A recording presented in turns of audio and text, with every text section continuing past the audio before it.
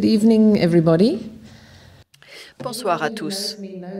Si vous me connaissez, vous savez que je ne suis pas très experte en technologie, donc euh, si je peux avoir la première diapo, très bien. Merci à la régie.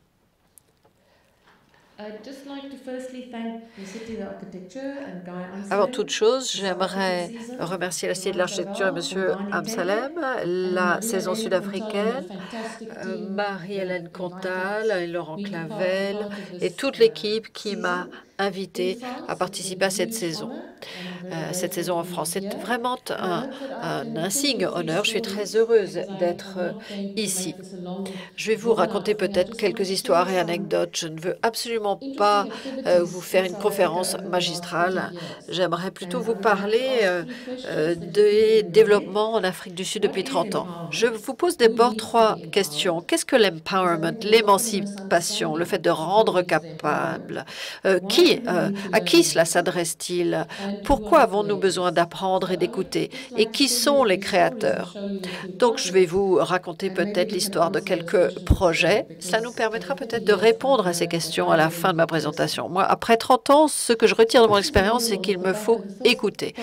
Voici une peinture murale euh, sur un premier projet, Cradoc Lulé Cliclé, des années 80, 1986, date de fin du projet. Il est encore debout aujourd'hui, une fresque murale magnifique.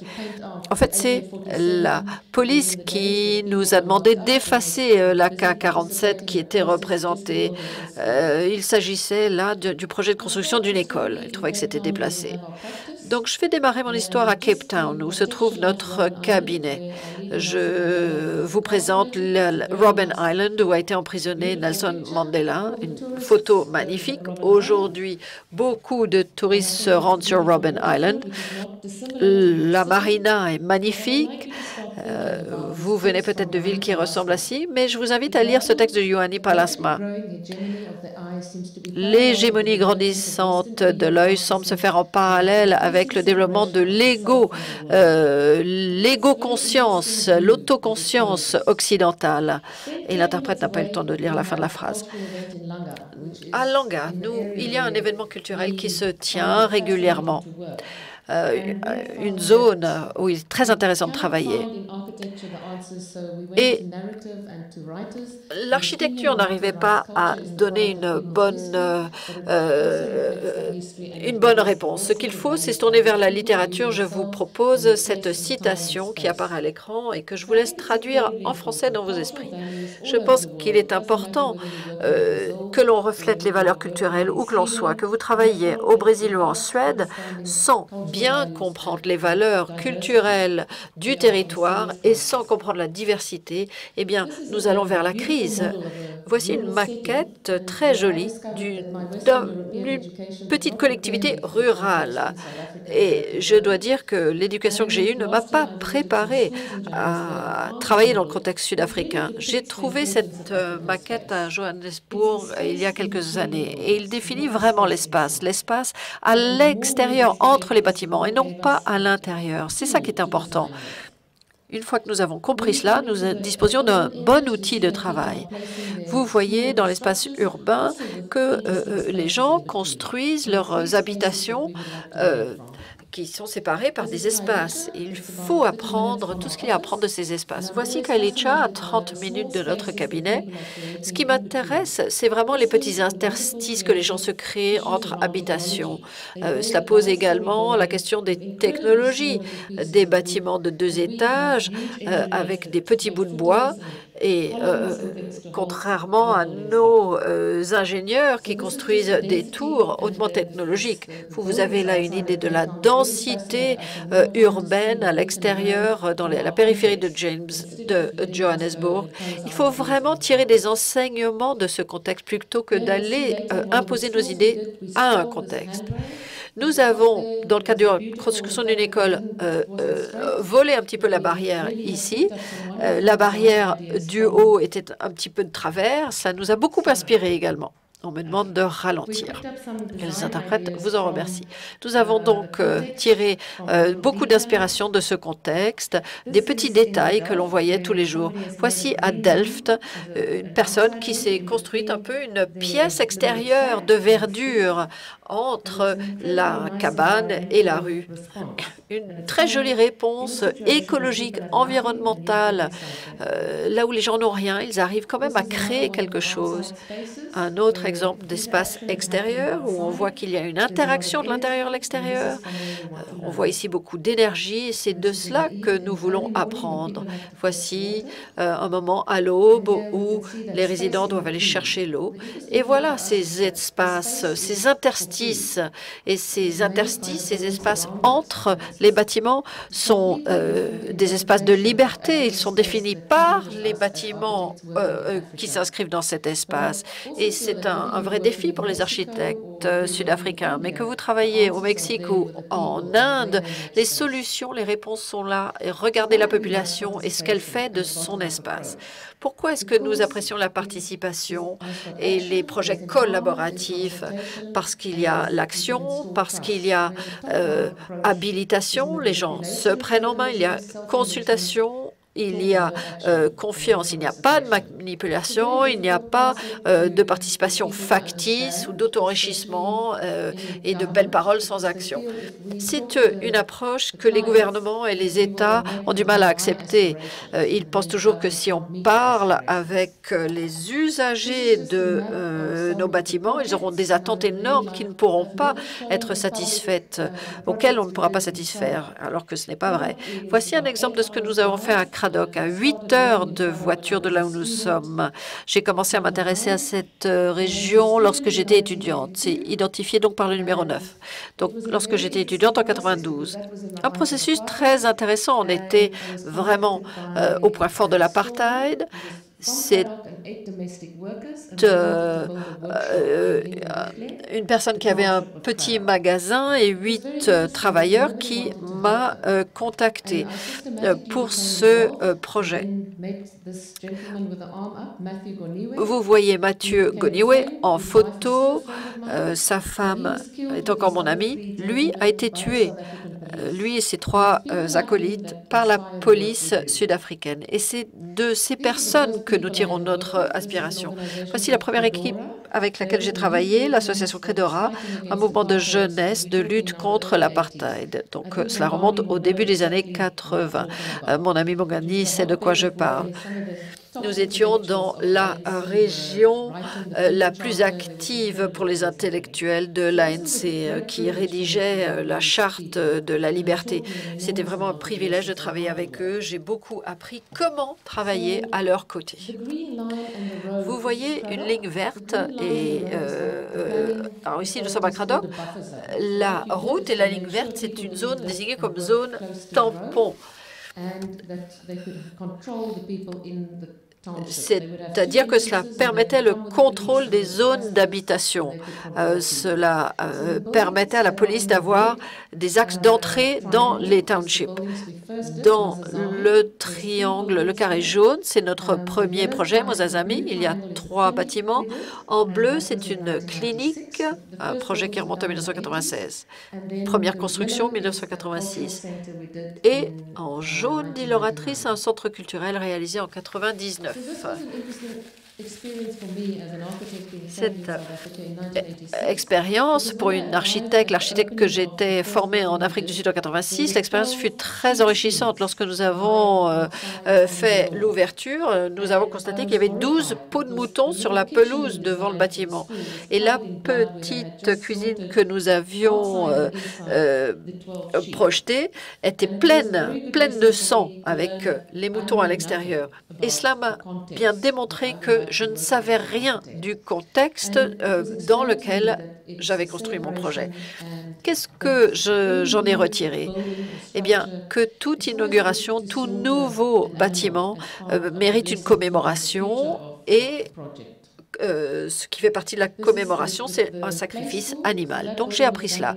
Voici une petite école euh, ouverte en 1986. Donc nous sommes au fait de l'apartheid. beaucoup de gens étaient jetés en prison. Nous venions, nous travaillions avec une équipe, la semaine d'après, ils étaient emprisonnés, et ainsi de suite toutes les personnes qui avaient des idées étaient considérées comme étant euh, des agitateurs, comme euh, travaillant, euh, comme œuvrant pour la subversion, pour une œuvre terroriste. Vous voyez ici une bibliothèque et toute cette pelouse, il s'agit de la zone tampon. Donc voici la bibliothèque pour cette petite collectivité. À l'époque, les financements venaient d'œuvres religieuses allemandes ou norvégiennes ou suédoises, beaucoup de financements euh, d'associations religieuses. Aucun financement public ou privé venant d'Afrique du Sud. Voici un atelier tout à fait typique. Au sein de la bibliothèque, nous avons commencé à travailler sur le projet pour la clinique. Nous travaillons un peu comme Patrick Bouchon, c'est-à-dire démarrer une réflexion intellectuelle. Nous amenons des spécialistes, des médecins, euh, pour qu'ils parlent aux membres de la communauté pour qu'ils les informent sur leurs droits, euh, qu'ils parlent avec eux sur leur travail dans l'agriculture ou ailleurs, pour savoir quels sont leurs besoins. Voici la clinique qui a donc ouvert en 1986. C'est intéressant, elle a deux ailes. L'aile à l'arrière, c'est euh, l'aile pour les services publics et à droite, le centre communautaire. Donc, pour euh, tout ce qui est de l'aide sociale, euh, alors que les médecins et les infirmières se trouvaient dans l'autre aile. Et au milieu, nous avions une zone d'attente publique. Nous avons visité tous ces bâtiments l'année dernière. Ils sont encore debout, ils sont bien entretenus et c'est la communauté, la collectivité locale qui euh, a construit les bâtiments que je vous ai présentés à Cradock. Si vous voyez un projet de logement euh, au Cap Ouest, et je vous montre ça parce que je voulais vous montrer un projet sur lequel nous avions travaillé à Cradock euh, en 86. Vous voyez que lorsque l'État donne des terres à la population pour le logement, c'est tout petit, une toute petite maison sur un tout petit terrain, donc il n'est pas possible euh, d'agrandir sa maison. Nous avons demandé à la population de rêver à ce qu'ils espéraient d'ici dix ans. Euh, c'est l'idée d'un hélicoptère. Imaginez que vous voliez euh, dans un hélicoptère, imaginez ce que vous verriez d'ici dix ans. Cette photo vous montre qu'on avait, on a construit environ 6 000 maisons au cours des dix dernières années. C'est vraiment une grande réussite. Voici euh, un, un, projet RDP, euh, le projet 2000, parce qu'on voulait en construire 3000 euh, d'ici l'an 2000. En réalité, on en a construit 6000. On avait donc 17 mètres carrés comme point de départ, y compris la salle de bain et la cuisine. Et chacun devait y apporter sa structure informelle, ce qui montre qu'on peut construire sa propre maison. Et euh, on a beaucoup plus de terrain que euh, pour des maisons RDP conventionnelles. L'idée, c'est que vous apportez votre propre cabane, parce qu'en Afrique du Sud, on a tendance à conserver sa propre cabane, même si on donne une maison RDP si on leur donne euh, une maison construite par l'État, ils la louent à quelqu'un d'autre. Et c'est pour cela qu'il est très difficile de se débarrasser des euh, bidonvilles. Parce que les gens euh, tirent leurs revenus de leur logement informel. Ici, vous avez une maison avec une cuisine, une petite salle de bain. Les gens ont fabriqué eux-mêmes les briques, ils ont tout construit par eux-mêmes à partir de rien. Et ceci a permis de créer de l'emploi. Et on a demandé aux gens d'apporter leur propre cabane et de l'attacher à la maison. On a là une solution architecturale qui est bonne pour l'environnement parce qu'il n'y a plus euh, de bidonville, tout est rénové, tout est amélioré, les gens construisent leur propre maison, ils ajoutent une salle en plus, par exemple, ils peuvent acheter une autre maison à côté et ensuite ils se mettent à produire leur propre architecture. Pour moi, ça, ça ressemble à un gâteau au chocolat, mais c'est quelque chose de très novateur. Et ça, pour moi, c'est une solution parce que cela se trouve dans une zone rurale. On a de l'espace. Je ne crois pas que ce soit une solution qui corresponde à un centre urbain. Mais ce qu'il faut regarder ici, c'est ce qu'il y a de vraiment extraordinaire et en tirer une inspiration pour les centres urbains. Voici un centre euh, artistique qui est assez près du projet dont je vous parlais. Il a été construit en 1996. À l'époque, les gens voulaient que l'on construise des centres culturels pour qu'ils puissent reconstruire la culture qui leur avait été arrachée par l'apartheid. On a beaucoup parlé du fait qu'on travaille dans un processus participatif. Ici, ce qui est intéressant, c'est que j'ai demandé à la femme de ménage ce qu'elle avait à nous suggérer dans la construction de ce bâtiment. Elle nous a dit que la cuisine devait être au milieu du bâtiment parce que les enseignantes vont chez le coiffeur. tous ceux qui utilisent ce bâtiment ont des moyens, ont de l'argent, ils vont chez le dentiste, ils ont toutes sortes de priorités, mais pour elle, qui est très pauvre, elle doit surveiller toutes les portes. Donc pour elle, il est important que la cuisine soit au milieu et non pas au fond. Euh, cela m'a vraiment appris quelque chose de très important. Euh, c'est que c'était là la solution adéquate pour les conditions euh, qui étaient présentes à ce moment-là. C'est une réunion des travailleurs, de ceux qui travaillent sur le site, des gens de la communauté locale. Elle s'appelle, cette femme s'appelle Teresa Solomon. C'est une prisonnière et très souvent elle était enfermée, donc elle ne pouvait pas faire partie de notre projet. Elle est devenue maire de Cape Town après que l'ANC euh, soit devenue légale. Et donc c'était quelque chose de très intéressant que d'apprendre des leçons de ce qu'avait à nous enseigner cette femme exceptionnelle. Voici le centre euh, des Woodlands où il y avait beaucoup de problèmes de drogue. Il y avait des gangsters partout à cet endroit-là. Il y avait des fusillades tous les soirs. J'y suis allée la semaine dernière et là, on m'a dit que tout a continué comme avant. Il y a toujours énormément de violence de la part des gangs, du trafic de drogue, beaucoup de, de violence à cet endroit.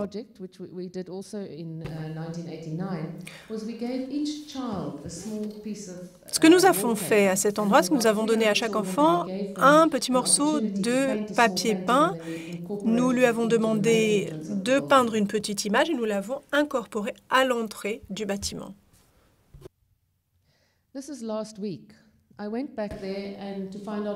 Et la semaine dernière, je suis allée voir euh, comment les choses avaient évolué. Et maintenant, c'est devenu euh, un logement pour euh, les femmes victimes de violences domestiques et leurs enfants. Donc, c'est vraiment devenu quelque chose qui vient aider la communauté. Ici, on est à Langa. Nous avons travaillé sur un centre communal pour les jeunes. Beaucoup de jeunes sont morts à cet endroit. Ils ont été assassinés suite aux activités des gangs et on a demandé de travailler avec eux. Nous avons donc écouté ce qu'ils avaient à dire. C'était des gens qui étaient très, très intelligents, mais qui souffraient d'ennui. Ils avaient besoin d'être stimulés, euh, d'être euh, éduqués, d'avoir des loisirs, d'avoir quelque chose à faire. Il n'y avait rien à faire à Langa. Voici des enfants plus jeunes. Nous travaillons dans un petit bâtiment qui s'appelait Pan de loisirs. Pendant deux ans, nous y avons mené des activités pour essayer de comprendre quels étaient les besoins de ce projet. Donc, il n'y avait pas que des réunions. Parfois, nous avions des ateliers avec les enfants, avec les jeunes et avec les parents également. Voici le centre Oasis euh, pour les jeunes qui a été construit en 96. Ça a été une belle réussite pendant les cinq premières années. Ça a permis de vraiment changer la vie de nombre de personnes à Langas. Ça a permis à beaucoup de jeunes d'aller à l'université. Ce qu'ils nous avaient dit pendant le processus d'élaboration, c'est qu'ils avaient besoin d'un endroit où se euh, débarrasser de leur frustration et où ils pouvaient euh, mettre à bien leur énergie créative. Donc, euh, cela leur a permis de continuer leurs études. En bas, vous voyez un foyer qui a été régénéré. Regardez très attentivement cette image. Ce bâtiment a été démoli il y a deux ans. Il a été rasé. L'acier qui s'y trouve est extrêmement lourd et il faudrait une grue extrêmement sophistiquée pour démolir ce bâtiment. Ici, nous avons travaillé avec des jeunes pour euh, peindre le sol, avec des jeunes, avec des artistes. Nous collaborons toujours euh, avec euh, toutes sortes d'intervenants extérieurs. Voilà donc la décoration du sol de cet endroit. Et voilà ce qui est arrivé. On m'a contacté il y a trois ans par euh, un maître d'œuvre de Langa qui m'a dit qu'il allait démolir ce bâtiment et que si je m'y rendais sur place, il m'assassinerait. Alors qu'à l'origine, c'est lui qui m'avait demandé de construire ce bâtiment. Euh, je lui avais dit que ça n'avait aucun sens parce qu'il y avait une école avec des milliers d'enfants. ce, ce projet était donc une réussite. Mais quelqu'un m'a dit que je suis trop romantique euh, dans la façon dont je regarde mon travail. Les choses sont extrêmement complexes, euh, il y a beaucoup de pression, il y a eu des grèves dans toute l'Afrique du Sud il y a quelques semaines. Euh, certains de nos employés ont été attaqués lorsqu'ils se sont rendus sur le site, certains ont été expulsés. Il y a beaucoup de choses dont on n'entend pas parler, mais la situation en Afrique du Sud est toujours très difficile, même pendant l'ère post-apartheid. Pour détruire ce bâtiment, il aura, fallu euh, une grue et beaucoup d'équipements extrêmement sophistiqués. Ici, c'est un marché à Guguletu euh, qui existe depuis les années 60. Là, vous voyez que les gens sont assis sous la pluie. Aucun d'entre eux ne parle anglais. Il y a environ 100 commerçants. Euh, et nous avons donc euh, travaillé avec eux. C'était une expérience très intéressante. Donc ça, c'est une image des réunions que nous avons menées. Nous avons construit un petit marché à l'italienne avec euh, une petite place à l'italienne. Et ils m'ont expliqué, euh, je leur ai expliqué comment le marché fonctionnait en Italie. Les femmes ont trouvé que c'était hilarant. Elles m'ont dit, mais vous êtes complètement idiote, vous n'y comprenez rien. Elles me parlaient en sosa. Elles pensaient que je ne comprenais rien à ce qu'elles disaient, mais en fait, je comprends le sosa. Ce qu'elles m'ont dit, c'est qu'elles voulaient une station à essence. Ça, c'était leur référence. Elles voulaient une station d'essence, euh, un toit comme il en existe pour les stations en essence. Elles savaient très bien ce qu'elles voulaient. On a l'impression que ces femmes ne sont pas instruites, mais en fait, elles le sont beaucoup plus que moi. Voici comment se passaient les choses dans le marché. Donc, il faut voir qu'il y a toute une structure anthropologique, qu'il y a les femmes qui vendent la viande, elles sont à l'avant, ceux qui vendent euh, les têtes de mouton sont de l'autre côté de la route, ceux qui vendent en gros sont euh, à l'arrière du marché, ceux qui euh, vendent des os sont complètement au fond. Donc, il y a vraiment un système hiérarchique. Voilà une réunion type. Elle se déroulait à l'extérieur et pas dans des petites salles toutes propres. Voici le toit de la station d'essence qui était ondulé et que nous avons placé au-dessus de leur marché parce qu'ils veulent continuer à faire des feux, à rester à l'extérieur, mais ils veulent tout de même être protégés de la pluie et du temps. Voici la chef du marché qui m'a expliqué qu'ils étaient devenus très euh, riches euh, parce qu'ils pouvaient travailler euh, de 5 heures du matin jusqu'à minuit. Le système de transport en commun est extrêmement mauvais, mais ils ont trouvé le moyen d'améliorer leur rendement économique. Elle a pu, grâce à cela, envoyer sa fille à l'université. En tant qu'architecte, euh, c'est vraiment quelque chose de merveilleux de pouvoir euh, aider les gens à s'émanciper financièrement. Voici le marché viande. voici un groupe de gens, d'habitants de Vusta, avec qui nous avons travaillé en 1996. C'était une expérience très intéressante. Là, nous avons construit des modèles urbains et nous leur avons donné trois possibilités pour un site à construire. Ils ont tous choisi le site qui, pour moi, en tant qu'architecte, était le pire. Pour moi, c'était complètement lamentable. Ça n'avait aucune qualité urbaine, aucune qualité architecturale, mais pour eux, c'était le meilleur. Ils voulaient également des salles de conférence avec euh, une structure qui ressemblait à celle de l'université. Ils voulaient que les gens viennent à leur atelier et se mêlent à eux. Voici des dessins qui nous ont été présentés euh, lorsque nous avons présenté le bâtiment. Nous avons construit des maquettes et nous les avons euh, modifiées au fur et à mesure que nous discutions avec ces personnes. Si vous voyez là le bâtiment rouge, ce bâtiment, dix ans plus tard, est en plein milieu des développements. Et c'est exactement ce qu'ils avaient en tête dix ans auparavant. Moi, j'imaginais qu'il devait être en plein milieu, qui est un peu plus sur la gauche. L'an dernier, nous y sommes retournés et nous avons vu que ce bâtiment euh, est très proche pour tous les résidents et qu'ils peuvent s'y rendre à pied. Ceci a été construit par un maître d'œuvre local, utilisant des travaux, euh, la main-d'œuvre euh, des habitants. Nous sommes allés voir ce projet l'an dernier. Il y a un gymnase que les habitants utilisent et qui a eu euh, des retombées très positives sur cette communauté. Et là, vous voyez qu'il y a euh, les gens ont apporté leur propre travail artistique à ce centre. Ici, vous avez Guga Setebe qui est représenté dans l'exposition à l'extérieur. C'est un centre artistique et culturel. Lors de la planification de ce projet, les anciens voulaient un rondavel. C'est le bâtiment que l'on voit sur la gauche sur la diapositive. C'est un bâtiment rond qui est construit avec de l'argile, différentes matières. Mais ce qui est important, c'est que c'est toujours rond, avec un toit. Aujourd'hui, parfois, les toits sont en métal, mais les anciens de la communauté voulaient un Rondavel, les jeunes voulaient des BMW, des téléphones portables, des iPads. Donc, ce qu'ils exprimaient, ils ne le faisaient pas du tout en termes architectural. Il faut vraiment savoir écouter ce que vous disent les gens, ce qu'ils cherchent.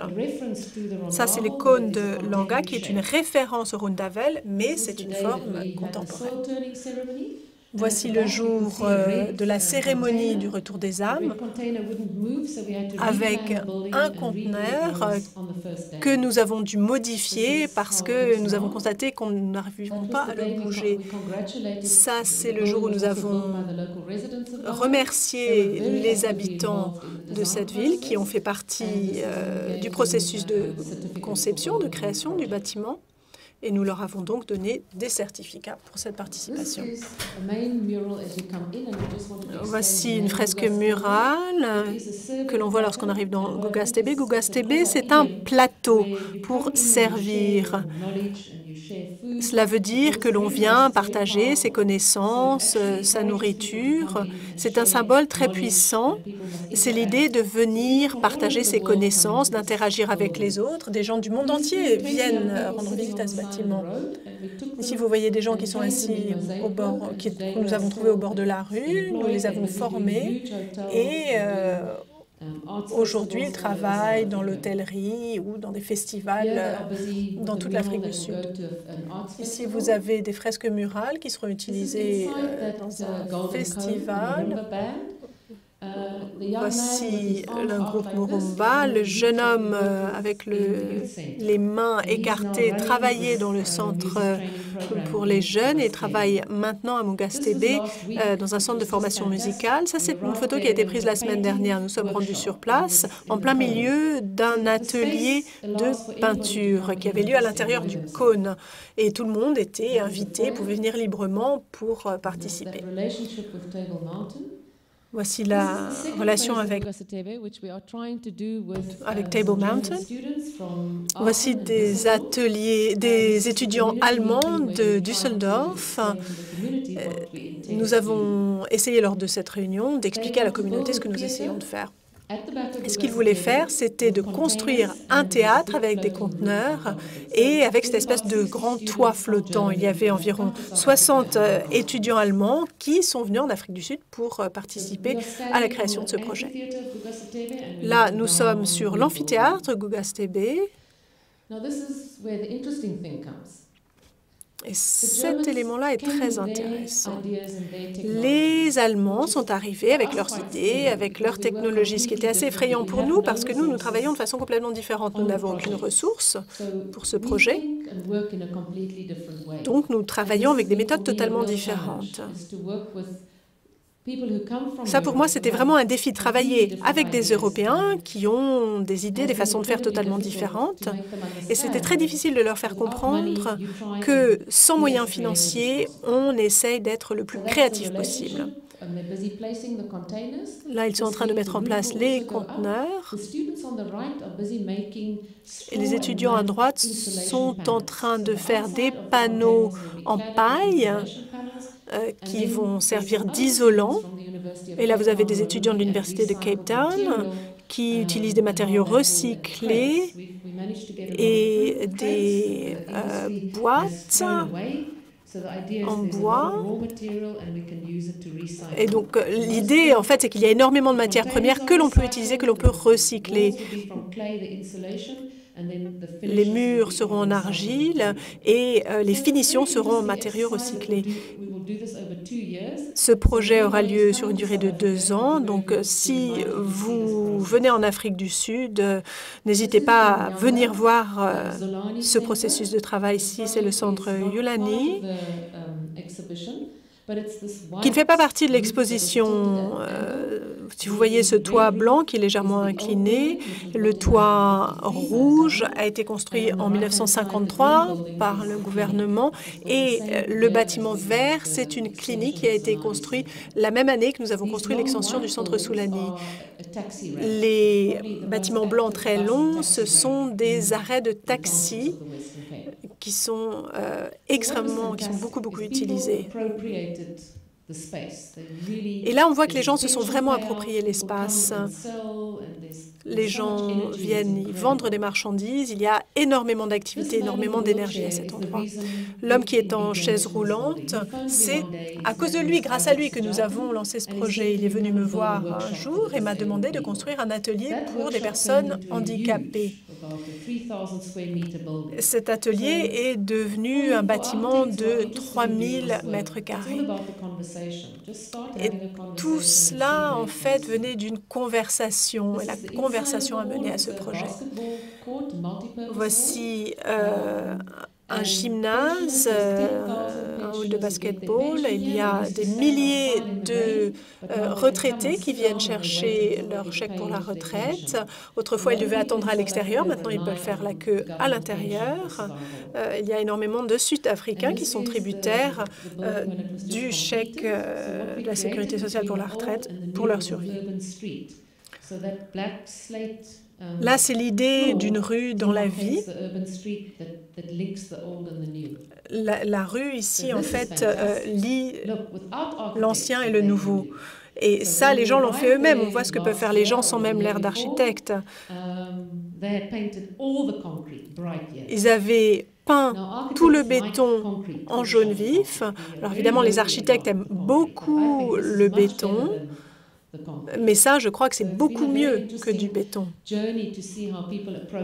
C'était vraiment très intéressant de voir la façon dont les habitants s'approprient l'architecture.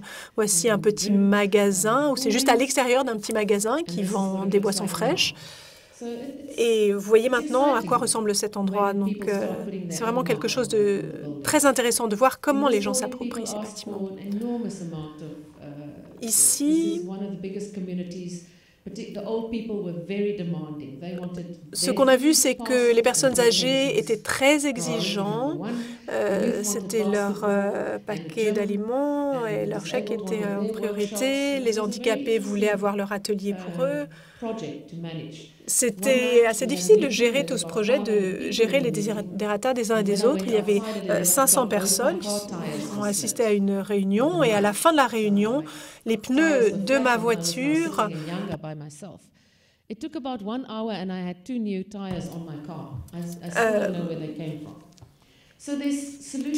cassés. Donc on voit qu'il y, a, toujours des solutions. On a trouvé le moyen de collaborer ici. Alors là, ce sont des enfants le jour où nous avons fini la construction. Là, à droite, vous voyez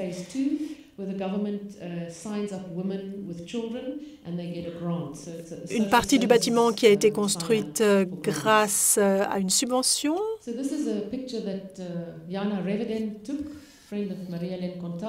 Là, c'est une photo qui a été prise par un ami de Marie-Hélène Contal. On y voit énormément d'énergie. Mais ce qui est vraiment triste, c'est de voir qu'il y a deux ans, la municipalité a mis une barrière tout autour de ce bâtiment. En tant qu'architecte, c'est vraiment effrayant de créer un espace d'émancipation et de voir que les autorités mettent une barrière autour de cet espace parce qu'ils ne comprennent pas l'intérêt de, cet espace. Ça ne sert à rien de mettre une barrière autour. Voici deux projets dans le West Bank. En bas, c'est l'école. Nous avons mené les ateliers euh, sur une aire avec de l'herbe et on a demandé à ce que les enfants soient protégés dans cette école. Et euh, on a ensuite planifié ce centre polyvalent. Ça, c'est le préau de l'école et nous avons construit l'État de construire le préau séparément des classes, parce qu'à l'époque, on ne faisait pas comme ça. Ce sont des endroits qui sont devenus des aires de jeu pour les enfants. Ça, c'est la classe qui est très simple, mais bien conçue. Et à l'extérieur, on voit des jardins qui ont été faits juste devant l'école, ce qui a vraiment encouragé toute la communauté de créer ses propres jardins également.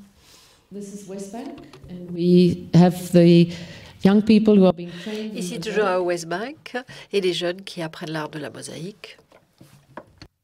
Et ici, la fresque de mosaïque a été réalisée euh, en un mois à peu près par une bande de 20 jeunes qui s'intéressaient beaucoup à cela. Ils ont fait le projet et puis ils ont appliqué la mosaïque euh, elle-même. Landsberg, qui a été touché par euh, des inondations. Nous pensons également que le fait de raconter, de parler est très important pour comprendre les gens et apprendre quel est leur contexte. Nous avons fait venir une poétesse, Diana Ferrus, euh, pour qu'elle écoute les gens et qu'elle euh, rédige ensuite un poème qui a servi de base à la conception du bâtiment. Nous réalisons des maquettes. les inondations avaient été euh, assimilées à un gros taureau rouge. Nous avons donc repris la couleur rouge. Voici à quoi cela ressemble. Et nous avons transformé l'ancien bâtiment en gris et l'annexe ou l'agrandissement en couleur. Voici un ancien wagon de train que les gens souhaitaient réutiliser. Il avait euh, était passé par les flammes lorsqu'il est arrivé. Euh, c'était un incendie criminel euh, provoqué par des jeunes. Donc il y a toujours agression et violence et il faut traiter tout cela dans le projet. La ville a commencé, est née autour d'une gare, donc pour eux, l'image du, chemin de fer était très importante. Ici, nous apprenons à des jeunes à réaliser des garde-fous, des balustrades, en utilisant des objets métalliques euh, réutilisés. Euh, Valie Pasteur est l'artiste qui les encadre. Et vous voyez le produit fini euh, des garde-corps vraiment très intéressants. À l'origine, nous voulions avoir une éolienne, mais lorsque nous sommes allés à la ferraille, eh bien, il n'y avait pas d'éolienne à récupérer. Donc nous avons installé un objet qui rappelle l'éolienne. Vous voyez aussi le toit en métal en tôle ondulée réutilisé. Et voici une idée du paysage. Ce que les gens demandaient, euh, c'était notamment d'avoir un centre pour ambulance, parce qu'il y a beaucoup d'accidents de la route. Donc, ils se disaient, eh bien, là, s'il y a un accident sur la route, euh, eh bien, le lieu est bien situé pour envoyer l'ambulance et puis accueillir les, les blessés. Il n'y a pas vraiment d'hôpital à euh, proximité.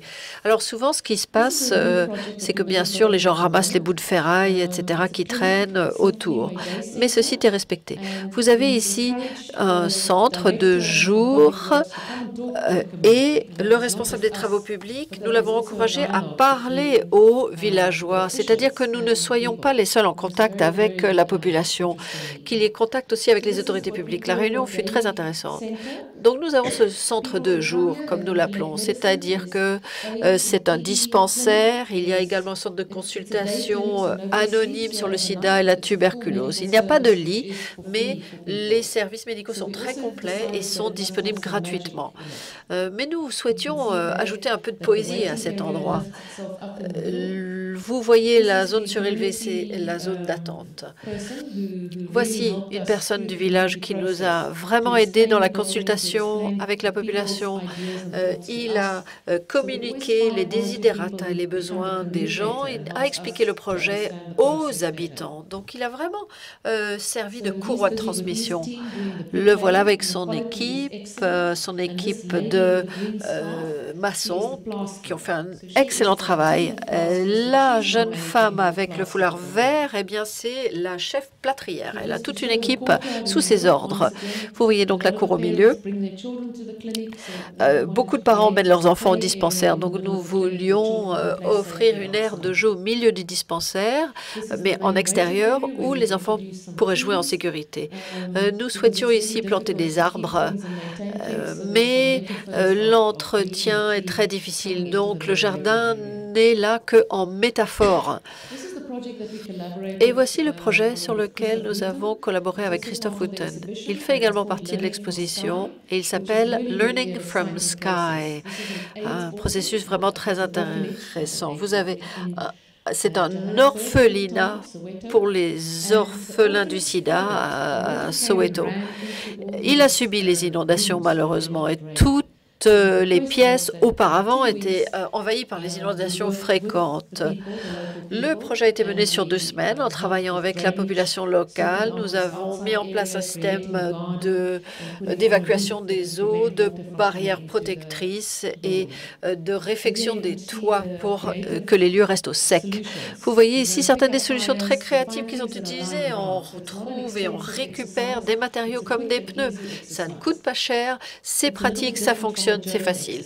Donc, ce n'est pas du tout la méthode allemande, bien sûr, mais il est intéressant de voir ce que font les gens, ce qu'ils arrivent à faire avec trois bouts de ficelle. Les solutions sont souvent très novatrices. Donc, voici le, le jardin tout ceci sont des objets de récupération.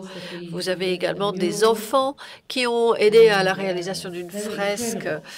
Et euh, vraiment, euh, travailler avec eux était incroyable. Euh, ils ont bien participé et il y a vraiment une bonne interaction. Donc, ils ont créé une maison avec des panneaux solaires et des petits arbres.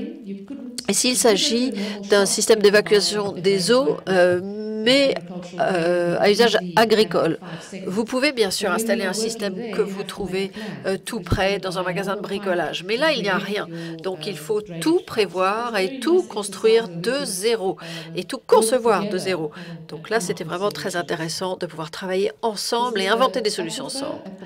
Vous avez ici, disons, la nappe phréatique, euh, la citerne, l'eau des douches ruisselait et envahissait les maisons euh, des squats autour.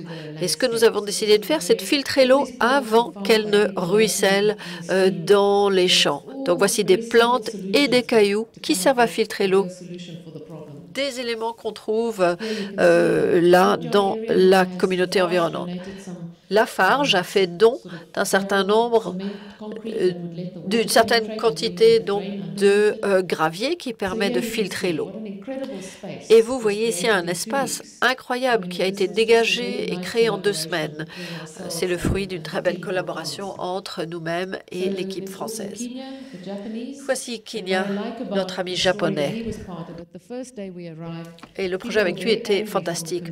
Au départ, lorsqu'il est arrivé, eh bien, les villageois étaient très mécontents. Et il a commencé à leur apprendre le tai chi. Magnifique.